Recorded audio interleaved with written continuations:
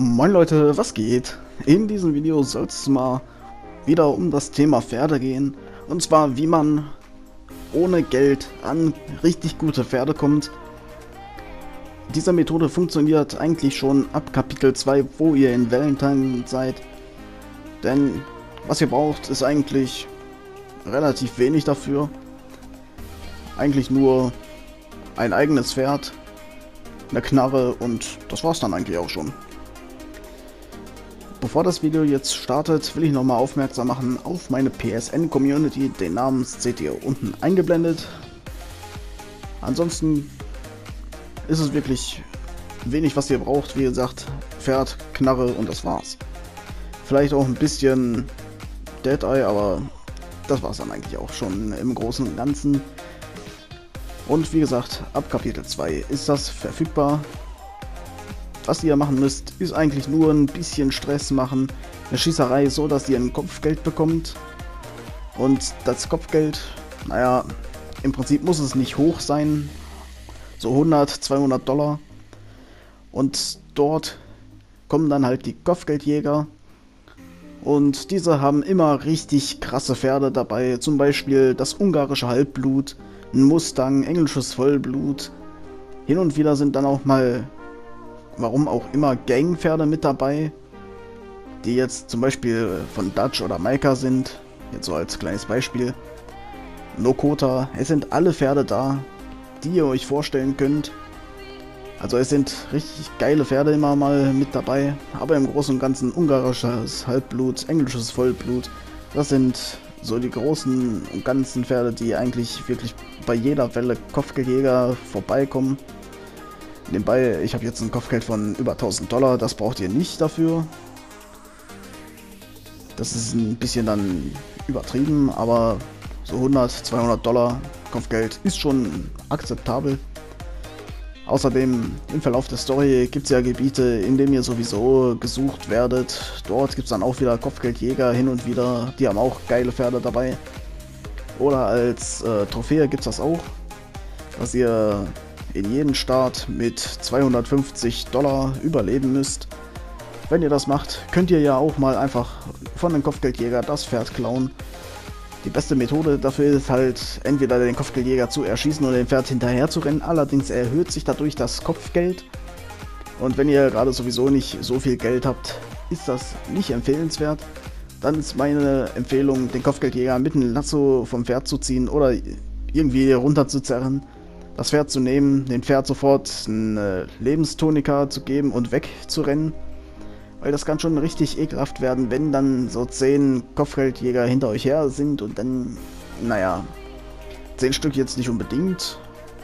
Weil, wenn ihr unter 500 Dollar bleibt mit dem Kopfgeld, sind die Kopfgeldjäger eigentlich kein Problem. Und über 500, da sind die schon richtig extrem. Und bei über 1000, da braucht ihr es gar nicht zu versuchen es ist vielleicht auch empfehlenswert, immer mal wieder zu speichern, falls es jetzt nicht so klappt, wie ihr euch das vorstellt.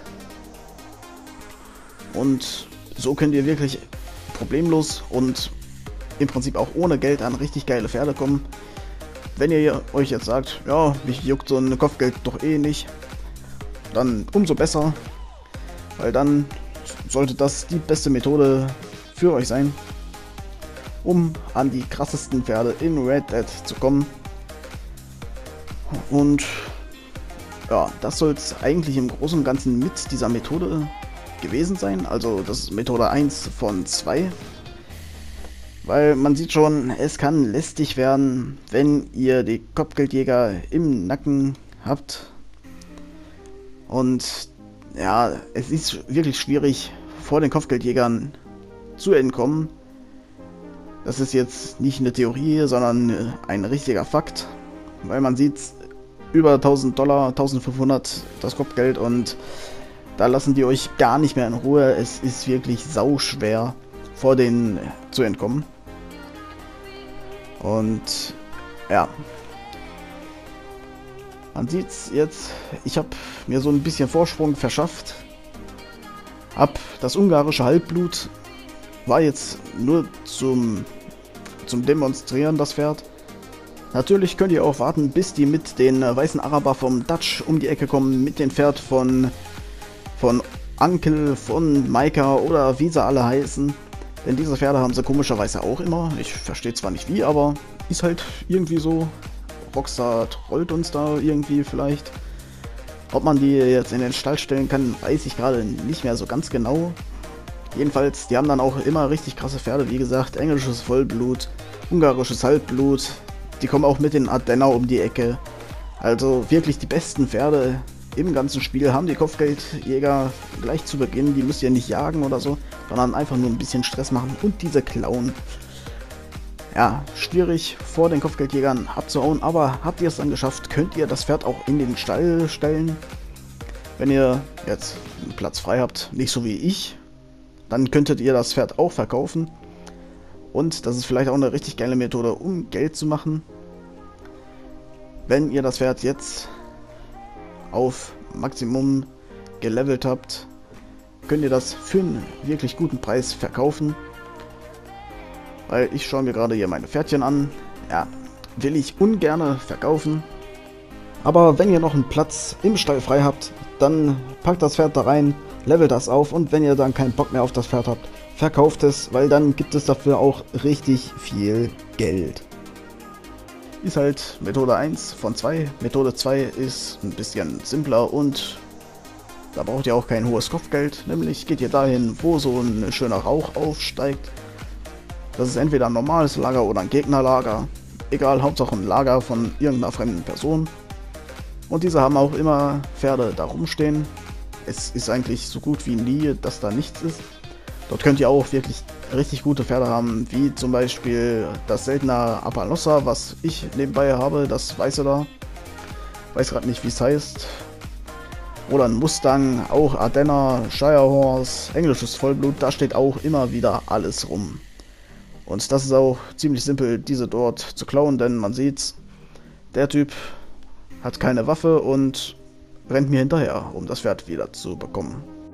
Und das ist wirklich so mit die beste Möglichkeit, um schnell an ein gutes Pferd zu kommen, beziehungsweise an ein besseres Pferd. Weil so habt ihr wenig Aufwand und diese Zufallslager, die gibt es wirklich immer und überall. Und es stehen da wirklich immer Pferde rum. Bei mir ist es bis jetzt noch nie passiert, dass da kein Pferd stande. Es stand immer ein Pferd und es waren in der Regel immer gute Pferde, wie zum Beispiel jetzt das Apalossa oder das englische Vollblut oder wie jetzt bei den Kopfgeldjägern zum Beispiel das ungarische Halbblut. Sind immer richtig gute Pferde mit dabei und das ist eigentlich die beste Möglichkeit, um die Pferde zu bekommen, wenn man die jetzt nicht im Stall kaufen kann oder wenn man jetzt Geld sparen will. ist es halt wirklich die beste Methode, die Pferde einfach zu klauen. Weil wenn wir schon im Wilden Westen sind oder ein Verbrecher, dann können wir uns unsere Pferde auch klauen und uns so Zeit und Ärger ersparen. Erstmal in die nächste Stadt. Wenn das Pferd schon vor einem steht, kann man es einfach gleich mitnehmen. Man muss dann wirklich nicht in die Stadt zum Stall und es im Stall kaufen. Und wenn ihr dann Pech habt, sind auch Pferde, die dann richtig teuer sind, wie zum Beispiel jetzt der Foxtrotter mit seinen 950 Dollar, plus minus ein bisschen. Wenn ihr jetzt zum Beispiel bei den Kopfgeldjägern einfach ein bisschen äh, die abknallt, diese kommen dann auch irgendwann mit einem Foxtrotter um die Ecke und das ist meistens billiger als wie diesen jetzt legal zu kaufen. Zumindest hatte ich das so, dass ich in Valentine war das glaube ich, hatte ich einen Foxtrotter und einen Ardenner von den Kopfgeldjägern beschlagnahmt. Von daher, beste Methode meiner Meinung nach ist meistens billiger, beziehungsweise im Prinzip kostenlos, abgesehen vom Kopfgeld. Das jetzt mal dahingestellt. Aber ich hoffe, ich konnte euch mit diesem Video weiterhelfen. Bedanke mich natürlich fürs Zuschauen und ciao.